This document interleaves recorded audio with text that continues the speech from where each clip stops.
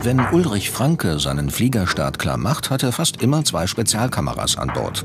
Eine Wärmebildkamera und eine hochauflösende Fotokamera. Franke fliegt nicht aus Spaß, er ist Profi. Seine Spezialität? Wildzählung. Heute zählt er Hirsche in der Eifel. Ob wir hier starten können? Info, die Delta Mike Bravo India Oscar geht auf die Bahn bis zur 5 und startet. Die Gemeinden Blankenheim, Dahlem und Nettersheim haben ihn damit beauftragt. Denn in den Wäldern der Eifel gibt es ein Problem. Zu viele Hirsche.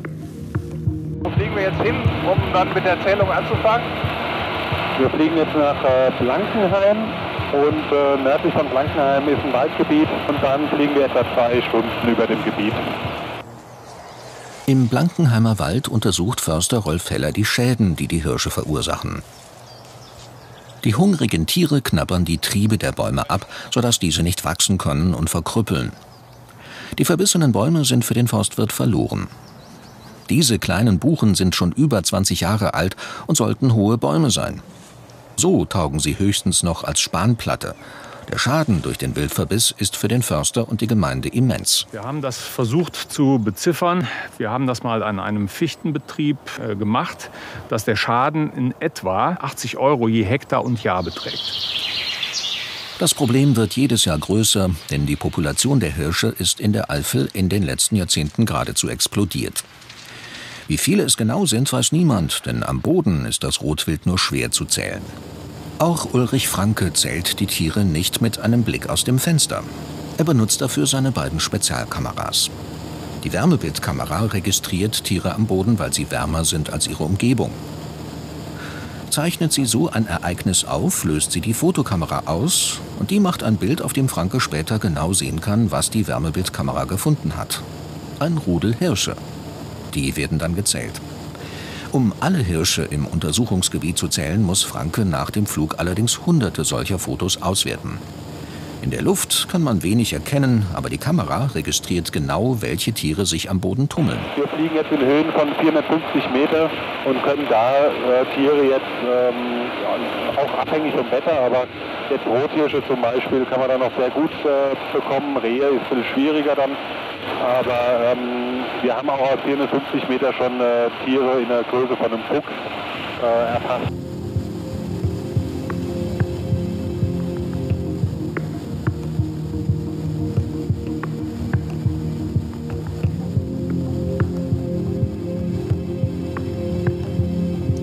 Förster Heller hat aber noch ein anderes Problem mit den Hirschen. Im Wald gibt es nicht genug Nahrung für die vielen Tiere.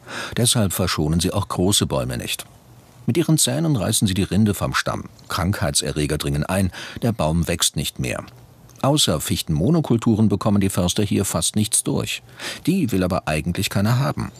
Hellers Pläne für einen gesunden Mischwald lassen sich nicht verwirklichen. Da fühlt man sich nicht gerade bestätigt in seiner Arbeit. Man hat sehr viel Zeit, sehr viele Ideen auch reingesteckt. Und äh, es verschwindet sozusagen im Magen des zu häufig vorkommenden Bildes. In 450 Metern fliegt Ulrich Franke seine Bahnen mit konstant 100 Kilometern pro Stunde. Die erste Wende steht an. Hirsche sind jagbares Wild, das größte in Mitteleuropa. Vor allem auf die Männchen mit ihren Geweihen haben es Jäger abgesehen. Für die Weibchen interessieren sich viele Jäger weit weniger. Die Trophäenjagd hat hier Tradition. Hans-Christian Wagner ist Förster beim Landesbetrieb Wald und Holz NRW, zuständig für die Jagd und selbst erfahrener Jäger. Er weiß, dass viele Jagdpächter nicht konsequent genug gegen die vielen Hirsche vorgehen. Viel Rotwild im Revier zu haben, ist natürlich äh, die Möglichkeit, dann auch relativ leicht zu Schuss zu kommen. Und viele Pächter haben relativ wenig Zeit zur Yacht, weil Yacht ist ja auch ein Geldthema. Und die Leute, die die Yachten gepachtet haben, haben meistens die Woche über ihr Geld erstmal zu verdienen und haben dann meistens nur sehr wenig Zeit, die Yacht äh, auszuüben. Der Vorwurf, viele Jäger erfüllen die Abschussvorgaben nicht und schießen hauptsächlich kapitale Männchen. Zudem machen sie falsche Angaben über die Zahl der Tiere in ihren Revieren und die getätigten Abschüsse. In Einzelfällen wurden auf Anweisung der Behörden doppelt so viele Hirsche getötet, wie zuvor in dem Revier gemeldet waren. Aber auch die höheren Abschussvorgaben waren erfolglos. Das hat es ja durchaus gegeben, dass Yachtbehörden Abschusspläne hochgesetzt haben, weil sie erkannt haben, dass die ähm, waldökologischen Auswirkungen der Wildbestände nicht mehr hinnehmbar sind. Die Frage ist dann nur, wird der Abschuss auch durchgeführt. Und das ist bisher nicht ähm, ausreichend kontrollierbar gewesen.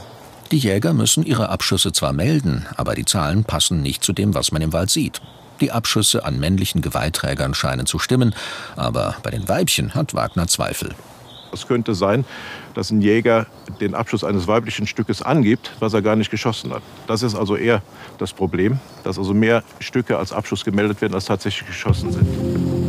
Ulrich Franke setzt zur Landung an. Die Kameraspeicher sind voll.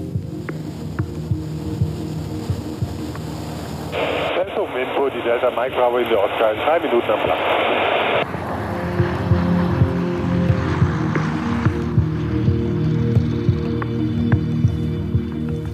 Direkt nach der Landung beginnt Ulrich Franke mit der Auswertung. Er muss nicht viel suchen, die Bilder sind voller Hirsche. Die genaue Auswertung ist mühsam und erfolgt Bild für Bild, aber schon jetzt sieht er, dass die Situation wahrscheinlich noch dramatischer ist als angenommen. Die Tiere stehen auf Freiflächen und zwischen den Fichten. In der Nacht filmt er mit der Spezialkamera aus dem Auto, um in die ganz dichten Wälder zu schauen, die den Blick auf den Boden behindern. Auch hier muss er nicht lange suchen. Der Wald ist voller Rotwild. Die Jäger müssen ihre Haltung ändern oder es werden andere kommen. Letzten Endes ist es so, dass die Waldbesitzer aus der großen Zahl der Jäger, die da sind, die Jäger rausbekommen müssen, die sagen wir mal auch einen waldökologischen Hintergrund haben, dann fällt das alles auch leichter. Zudem müssen die Jäger damit rechnen, dass sie alle geschossenen Tiere demnächst vorzeigen müssen. Das Rotwild muss auf eine Population reduziert werden, die die Wälder und Wiesen der Eifel auch ernähren können. Dafür müssen sich die Gemeinden auch von dem Brauch verabschieden, die Reviere einfach an den zu verpachten, der am meisten dafür zahlt.